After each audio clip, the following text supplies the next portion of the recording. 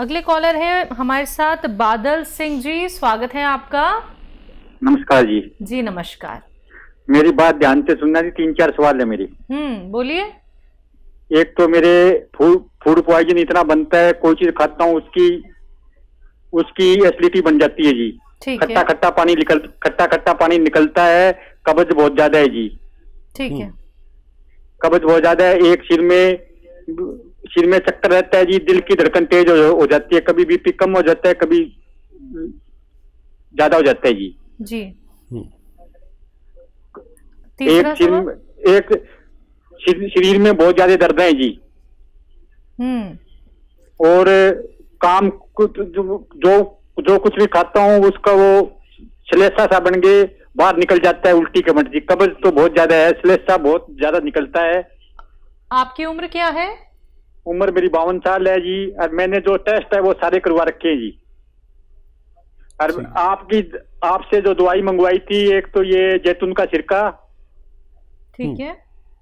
ए- ये वो लहसुन का रस और आ, उसका नींबू का और अदरक का रस वो बताया था। ठीक है। भगवान आपको फ़ायदा दे। और काफ़ी बिगड़ गया है केस। थोड़ा सब्र करें। गर्म पानी पिया करें पाँच बार। और देखिए ये तो लेते ही रहें जो आप ले रहे हैं नुस्खा। जो चक्कर आते हैं, इसके लिए आप ये एक्सरसाइज ये तीन मिनट और एक ये। ऐसे पूरी तरह मोड़े इसे। ये भी तीन मिनट। करना शुरू करें और दस दिन में इसका रिज़ल्ट देखें कि आपको कितना फ़ायदा है, चक्करों में ख़ास तौर पर। देखिए, मर्ज तो आपको बहुत ज़्यादा है, लेकिन उससे भी ज़्यादा घबराहट हो गई आपको।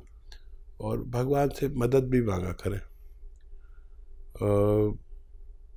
सौंफ खाया करें हर खाने के बाद दो चम्मच। और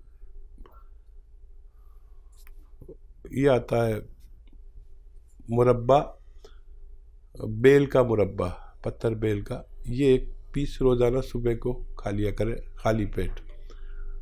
और थोड़ा थोड़ा फ़ायदे की उम्मीद रखें। थोड़ा थोड़ा एकदम से नहीं होगा। जो इलाज करना चाहते हैं, करिए, लेकिन ये साथ में लीजिए, सब छोड़कर मत लीजिए। और कम से कम महीना, दो महीना इलाज ज़रूर करें। इतना फ़ायदा लगने लगे कि आपको इत्मीनान आने लगे। देखिए, महीना तो लगता है इतना फ़ायदा होने में कि इतमान आने लगे हाँ कुछ बेहतर है। तो फिर हमें इलाज करना आसान हो जाता जब तक एक परसेंटेज में फ़ायदा नहीं नज़र आता, हम बड़े शक में मुबतला रहते हैं। तो महीना तो निकलने दीजिए और खूब मदद भी मांगिए भगवान से और माता जी या घर में जो बुज़ुर्ग हों, उनसे दुआ कराइए।